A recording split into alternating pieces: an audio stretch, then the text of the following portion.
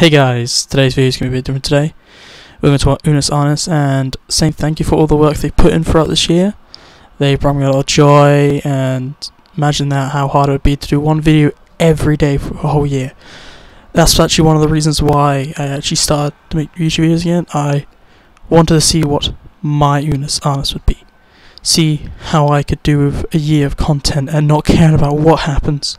Just pushing it out and one video really hit me. It was the video when Mark and Ethan had been honest to each other, and they Mark said something about he doesn't like it when people waste potential, and that really hit me. I was like, well, I have all these ideas I want to do, but I don't do them because I'm like, what's the point?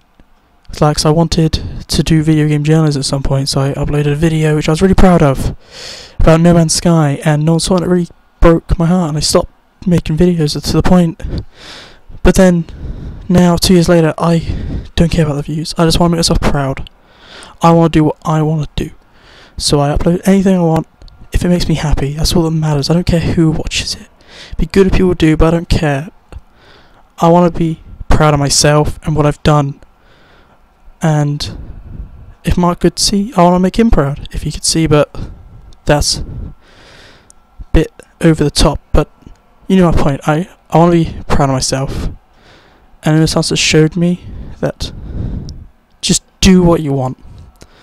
So thank you a lot, Unus You've really helped.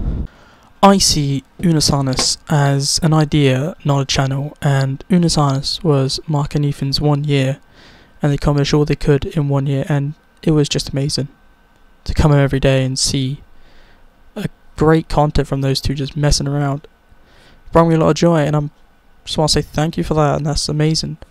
And thank you for showing me the way and give me giving me the motivation to try something like that myself and see what I can do.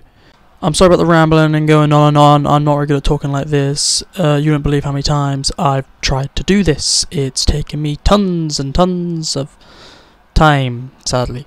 But it's sad to see Unus Annus go and we as viewers were lucky to see this project actually happened. And thank you one last time. Memento mori Unus Annus goodbye